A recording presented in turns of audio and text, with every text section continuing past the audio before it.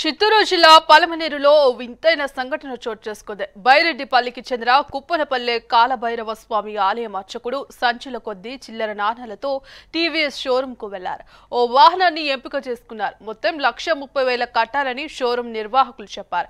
ఇంకేముంది? అర్చకుడు మురళీధర ఆచార్యులు తన వెంట తెచ్చిన సంచుల సంచులను చూపారు. మొత్తం చిల్లర నాణేలు గుమ్మరించారు. సేల్స్ మేనేజర్ ముందు రాశులుగా పోసి లెక్క పెట్టుకోవాలని సూచించారు. దీంతో అవాక్కైన షోరూమ్ ఉద్యోగులు తొలుత సస్యమీర అన్నారు.